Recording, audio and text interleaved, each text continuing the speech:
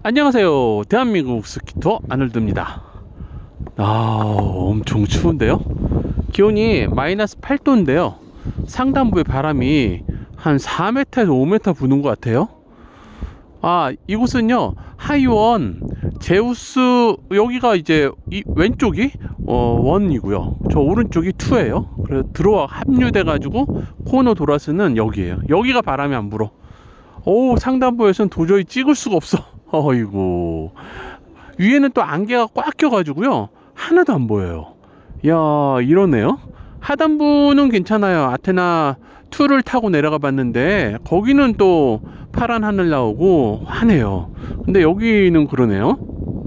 아 오늘은 2024년 1월 11일이고요. 목요일이에요. 지금 10시 30 몇 분 돼가고 있어요 아 이곳은 또 이제 강습하는 분들 많고 해서 이런 식으로 저기 내려오시잖아요.